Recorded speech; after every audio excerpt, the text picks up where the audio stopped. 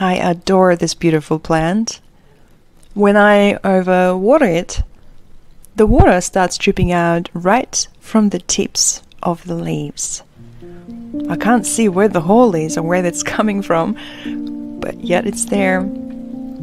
It collects all the water on the very tip and eventually drips on the floor.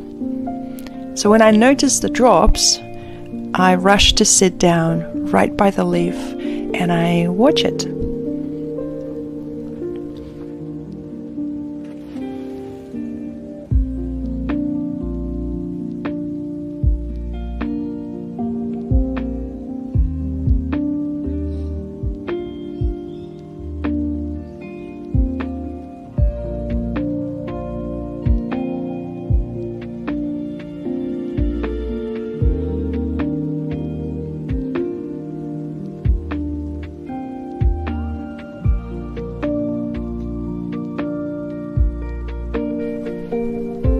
It is almost Christmas, just a few days away.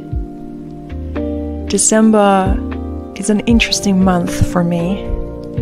Of course, I grew up with Christmas in January and in the middle of a very cold season, in the middle of winter.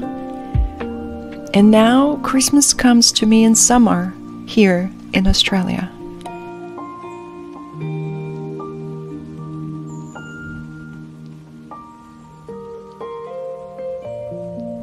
It is a beautiful time to sit outdoors somewhere under the tree in the shade or maybe on my balcony on a soft pillow. Read a good book enjoy a hot cup of tea. Yes even on a hot day in summer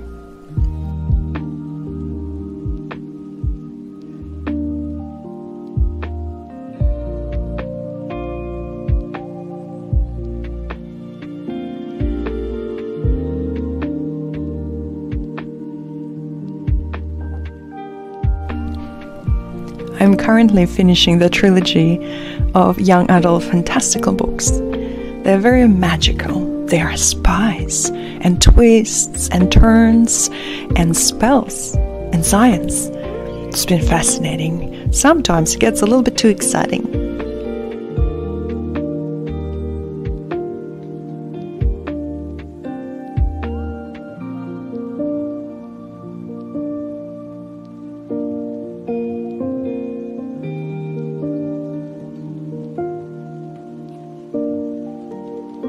This is when I like to take my eyes off the pages and look up. I see the clouds and take a big breath.